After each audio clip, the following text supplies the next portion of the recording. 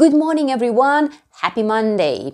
The other day I went shopping and I bought two things chalk and cheese. I did it, of course, to teach you a new idiom. The idiom is to be like chalk and cheese. You know, white chalk and uh, white cheese look very similar to each other. But of course, they are very different if you try to take a bite.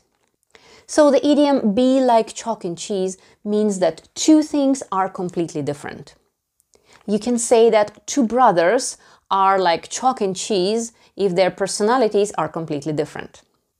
I know it's not easy to get along with people with whom you feel you are like chalk and cheese, but love and communication solve all problems. Have a wonderful week and uh, until next Monday. Bye.